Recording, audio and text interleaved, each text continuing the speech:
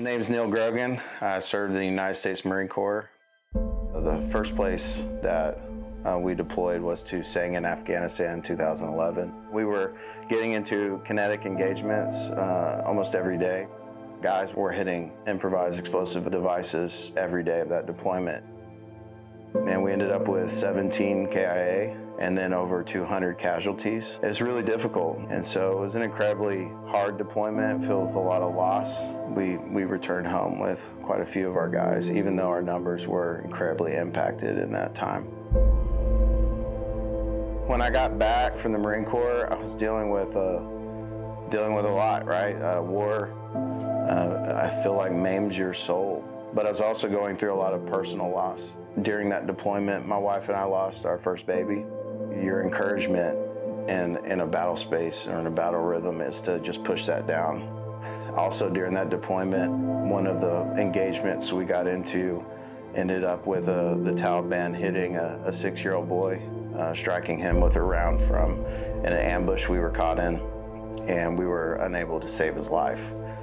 Dealing with that personal loss of losing the baby, my wife was also trying to deal with that loss. How we were dealing with each other was uh, really hostile and what I was dealing with. And really, I've kind of put my wife in this picture of an enemy instead of a bride, a wife to treasure and to serve and to, and to help. We actually grew up together. Uh, we went to high school together, met when we were 14. After we graduated, we went to college. The Lord saw fit to kind of bring us both back to Dallas. We got married in 2010. It surprises me how God worked all that together. She is the treasure of my life. But it, it became quickly evident that the way we were both dealing with loss was sinfully. She was uh, in her sorrow, spending money to try and cover up the sadness that she was experiencing. And that's really where my eyes, or the way I viewed my wife, changed. I would take control of every financial aspect of our marriage. I was hyper controlling. I would berate her, verbally abuse her. I also was trying to deal with my loss at the same time through alcohol. My wife has some grit about her because she stayed in the pocket with me um, despite all of the things that I was putting her through. And so when we lost that baby and then that kid died in front of me, I doubted that God was good and that he loved me. In my anger, I resented him and turned away from him. My wife was nine months pregnant, came home from work, and I was a fifth of whiskey in. Uh, I left inappropriate images up on the computer for her to find because I wanted to hurt her. She found them, of course, and she challenged me. And she says, this all I'm worth to you. And so I, I grabbed a computer and I threw it at my nine month pregnant wife. She turned back at me and said, Neal, like, you need help. And if you don't get help, I have to leave.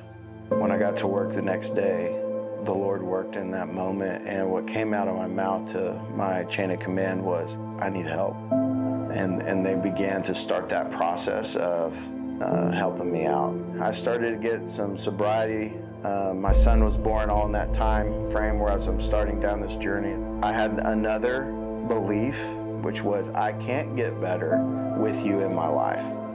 And so I effectively sent my wife and my son away from me and turn her into a single mom on the grounds of getting better. That decision was what hurt her the most because I abandoned them.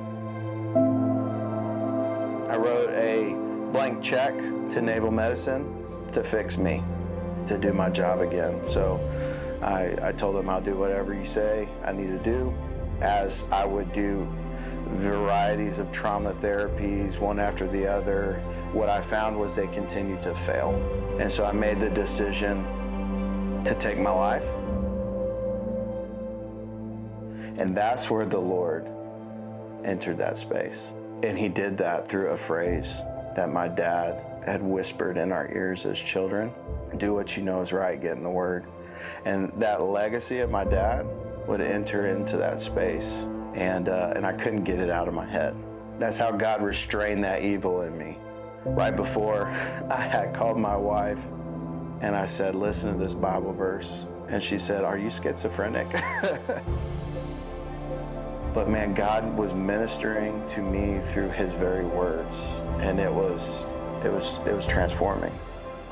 I came home to a hostile environment where my wife was angry at me for all that I had put her through. Over the next couple years, man, we just started removing the brick out of the wall between us, and God completely radically restored our marriage and also my life. Even in her sorrow and her anger towards me, God was shielding her heart from hardening towards me, and uh, because she was praying for me.